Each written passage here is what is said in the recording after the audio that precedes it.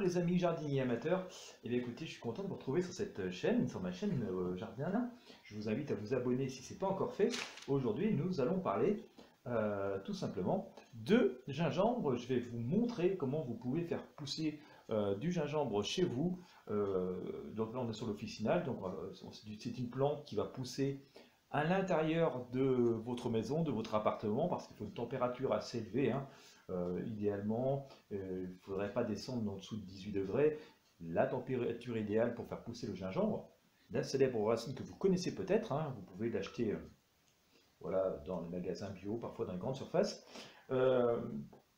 cette racine donc va pousser idéalement à 20 à 25 degrés, donc plutôt en intérieur. Pour faire pousser cette plante, alors vous allez voir, hein, vous la connaissez sans doute, euh, bah, comme moi ici, hein, euh, sous forme de racine, hein, c'est cette racine que l'on achète.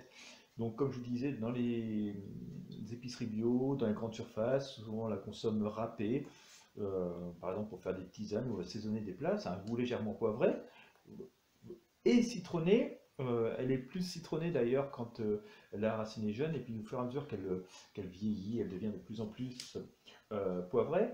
Euh, c'est une plante tropicale donc hein, qui a besoin de, chaleur, hein, je vous disais, donc 20-25 degrés. Euh, une fois qu'elle pousse, elle peut faire des grandes feuilles, hein, des grandes tiges avec des feuilles qui elle peut mesurer entre 1 mètre et 1 mètre 50. ça fait des très jolies fleurs roses. Franchement, si vous avez la chance de voir un gingembre fleurir, ce sera vraiment quelque chose d'assez merveilleux. Mais c'est assez délicat à faire fleurir, donc voilà, je ne vais pas vous donner de faux espoirs. Il faut savoir donc euh, que c'est un rhizome, ça peut se diviser en plusieurs, euh, morceaux pour faire plusieurs gingembres. Moi, je vais prendre le parti de, planter euh, la racine telle qu'elle. Je vais vous expliquer pourquoi tout de suite. mais vous pourriez très bien diviser, hein, vous voyez ici, en deux, couper, diviser en deux, et donc planter ainsi deux gingembres. L'idéal, si vous divisez, vous faites ça, c'est de couper, d'attendre deux jours que la plaie commence à cicatriser un petit peu, avant de mettre en terre pour éviter tout ce qui pourrait être pourriture. Euh, il existe donc une autre variété hein, que celui-ci, c'est celui qu'on trouve le plus généralement dans le commerce, c'est un gingembre tropical, il a besoin de chaleur. Et il en existe euh, une autre variété, le myoga, qui lui peut se cultiver sous nos latitudes puisqu'il résiste à des températures jusqu'au moins 15 degrés. Voilà. Euh, ce qu'il faut savoir sur le gingembre, c'est qu'il n'y a pas forcément besoin d'un très grand pot. Hein. Vous voyez, ça c'est largement assez grand pour le, pour le faire pousser pour une saison finalement, cette racine, aime bien, que, ce rhizome, il aime bien qu'il n'y ait pas trop de place. Hein. il aime bien se sentir un petit peu dans un petit cocon. Donc, inutile de prendre un pot trop trop grand. Voilà. Euh, qu'est-ce que je voulais vous dire aussi? Oui, alors il faut absolument euh, avoir un sol assez riche et en même temps bien drainé. Donc, euh, je vais vous expliquer ce que j'ai fait moi ici pour que vous puissiez reproduire vous-même pour faire pousser facilement votre gingembre. Deuxième chose, il faut de l'eau, nous sommes dans une plante tropicale, donc euh, c'est une plante qui aime l'humidité, éviter de la laisser se dessécher, euh, mais il ne faut pas non plus que ce soit de l'eau stagnante, donc il faut éviter que l'eau croupisse dans les pots, euh, donc je vais vous montrer aussi une technique que moi j'utilise pour que ça se passe relativement bien, et, ben on va pouvoir y aller. Donc voilà, moi j'ai acheté ici une, racine de gingembre, d'accord? Alors ne faites pas comme moi, hein, j'ai fait une bêtise, on va tenter l'expérience quand même, c'est que j'ai acheté ma racine de gingembre il y a 3 ou 4 mois dans une épicerie bio. J'ai complètement oublié, oublié de la planter. Donc elle a séché, un peu trop à mon goût. Euh, je ne suis pas sûr, sûr, sûr qu'elle va reprendre. L'idéal quand vous achetez votre racine de gingembre en épicerie, euh, voilà, il doit être charnu, il ne doit pas être desséché comme, je ne sais pas si vous allez bien voir la caméra, mais on voit bien il y a plein de petites stries, hein. ça fait comme, notre, comme notre peau quand elle frit par exemple après un bain, donc on ne devrait pas avoir ça de trop. Donc vous devez acheter un gingembre bien frais et puis euh, le replanter assez rapidement pour éviter donc euh, que la racine se dessèche, se meure et qu'elle ne puisse plus reprendre. Je vais tenter l'expérience quand même, voilà, d'autant plus que vous voyez quand même c'est une plante assez solide, hein. elle a tenté malgré tout en puisant dans les ressources de la racine de faire des bourgeons, hein. on les voit ici, il y a deux bourgeons qui sont, qui sont apparus, voilà, donc tout n'est peut-être pas perdu. Et pour essayer de lui redonner un petit peu vie avant de le planter, euh, j'ai décidé tout simplement, d'accord, de le tremper dans l'eau. Ça fait 3-4 heures qu'il est dans de l'eau pour euh, essayer de rafraîchir un petit peu, lui redonner un petit peu de vigueur. Euh, il faut savoir qu'il y a des personnes hein, qui font une étape comme je viens de le faire ici, c'est-à-dire qu'ils mettent leurs racines, leurs rhizomes dans de l'eau pendant une quinzaine de jours jusqu'à ce qu'il y ait des racines, et puis ensuite quand il y a des racines, le mettre en terre. Moi je préfère généralement mettre directement en terre, je trouve que ça fait un traumatisme en moins à la plante et donc on va directement le mettre en terre. Mais comme je vous le disais, comme j'ai oublié ma racine, j'ai essayé de lui redonner un petit peu de vigueur. Donc j'ai mis quand même 3 heures au préalable dans de l'eau. Euh, pareil pour l'eau, hein, pour éviter de, traumatiser la plante, je ne mets pas d'eau du robinet. Euh, tout simplement parce que même si elle est potable pour, et utilisable pour la consommation humaine, euh, il y a quand même des produits euh, dans cette eau que nous consommons, hein, que nous avons au robinet, et ces produits risquent de, freiner la germination, voire même de l'empêcher. Et donc c'est absolument pas ce qu'on souhaite, d'autant plus dans mon cas où j'ai oublié ma racine et que donc elle est bien sèche. Donc je pris une bouteille d'eau minérale, voilà, j'ai mis un petit peu d'eau au fond d'un bol, d'accord et ça va être pareil pour mes premiers arrosages.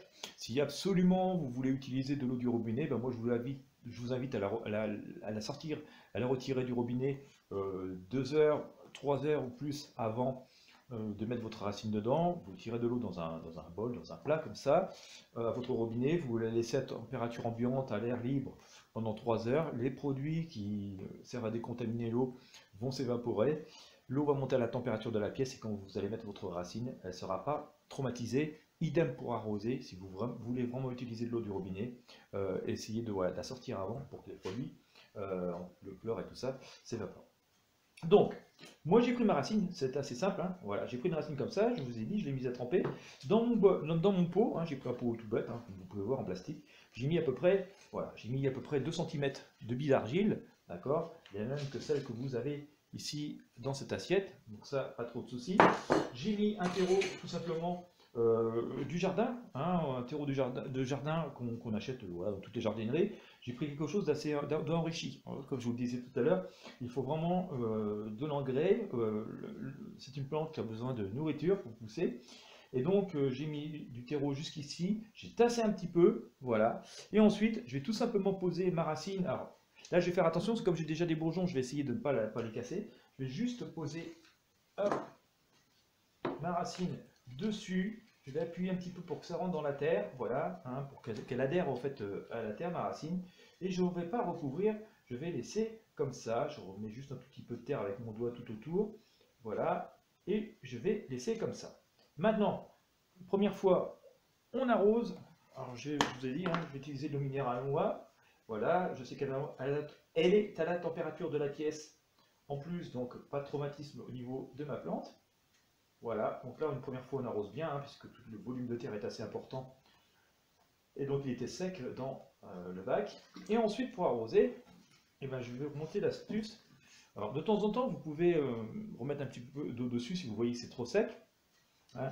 Et moi, pour qu'il y ait toujours une humidité permanente, j'ai pris tout simplement une espèce d'assiette creuse comme ça, dans laquelle j'ai mis des billes d'argile. Je vais poser mon pot dessus. Et voilà, je vais mettre de l'eau dans l'assiette jusqu'à un tout petit peu au-dessus des billes d'argile, hein. voilà, légèrement, hein. voilà, très très légèrement. Et comme ça, par capillarité, euh, bah, l'eau va remonter euh, par le dessous du pot et va humidifier ma terre.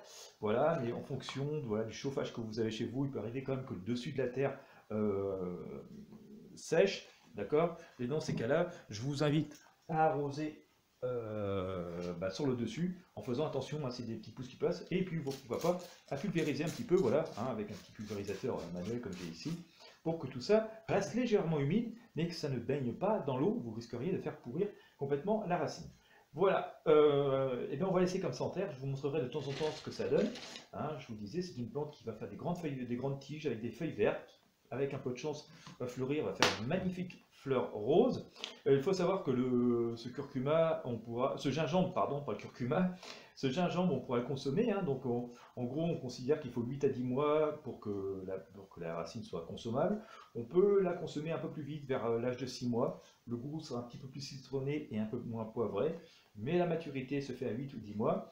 Euh, de temps en temps, bah, notre terre risque de se de se perdre de sa valeur nutritive, hein, bien entendu. Alors, ce que je peux vous inviter à faire, c'est trouver un petit engrais bio, voilà, pour genre engrais bio pour plantes vertes ou plantes fleuries.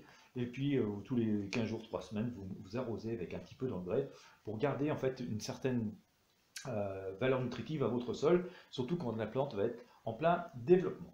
Voilà, et eh bien écoutez, de temps en temps je vous ferai un petit, un petit topo, voir comment il a évolué ce fameux gingembre. Bon, comme je vous l'ai dit, hein, celui-là, cette racine a vraiment souffert, j'ai vraiment trop oublié, donc je vous déconseille de faire ça. Achetez une racine fraîche, plantez-la, et puis, voilà, vous pouvez vous en le plus rapidement possible.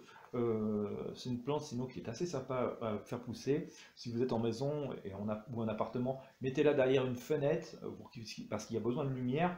Faites attention aux expositions trop fortes du soleil quand même l'été pour pas que ça crame, hein, parce que des fois ça chauffe vraiment très fort derrière les vitres. Mais euh, voilà, exposition lumineuse, une humidité régulière sans faire baigner euh, les racines dans de l'eau en permanence, que sinon ça risque de pourrir. Euh, pour ça que ma petite technique de l'assiette avec les billes d'argile, c'est plutôt sympa. Et puis vous allez avoir une plante, une très jolie plante tropicale qui va se développer dans votre intérieur pour voilà, euh, déjà faire la joie de tout le monde parce que c'est très joli à, regarder.